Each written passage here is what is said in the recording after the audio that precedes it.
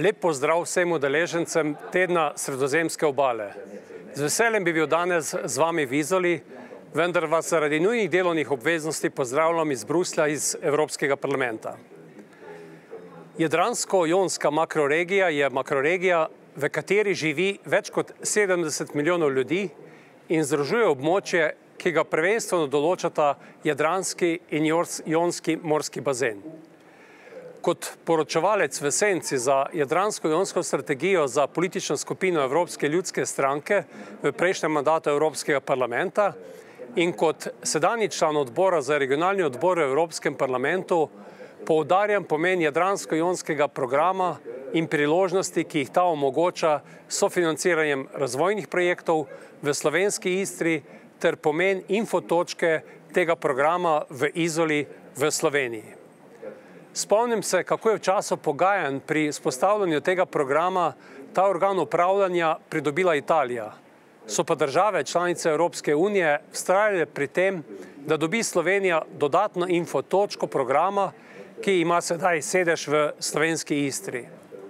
To je velikega pomena za slovensko Istro in Slovenijo. In vesel sem, da je ta točka dosegla pomembne učinke za našo obalo, slovensko Istro. Pomembno je, da se ta projekt, v katerem sta vodilni partner služba vlade za razvoj in evropsko kohezijsko politiko in partner za Slovenijo občina Izola, uspešno nadaljuje tudi v prihodnje. Do sedaj narejeni ogromni koraki v spodbojanju sodelovanja v Jadransko-Jonski makroregiji, oblikovani konkretni projekti na štirih stebrih sodelovanja, pri čemer posebej izstopa občina Izola, ob tesnem sodelovanju s Vrkom in drugimi resorji ohranjajo znanje in partnerstva ne le čezmejno, ampak tudi na lokalni ravni.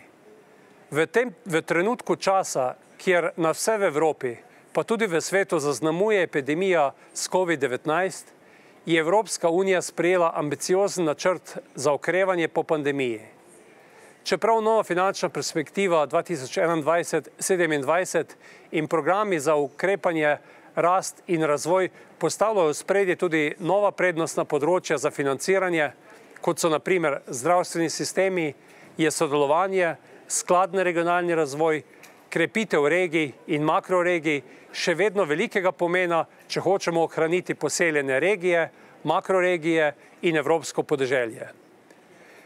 Čestitam vsem partnerjem Infotočke Vizoli k doseženim pomembnim učinkom do sedaj, ter želim, da, vaše da se vaše delo nadaljuje tudi v prihodnji finančni perspektivi z veliko dobre volje in trdnim delom za krepitev Jadransko-Jonske makroregije tudi v prihodnje. Uspešen teden vam želim in plodne razprave.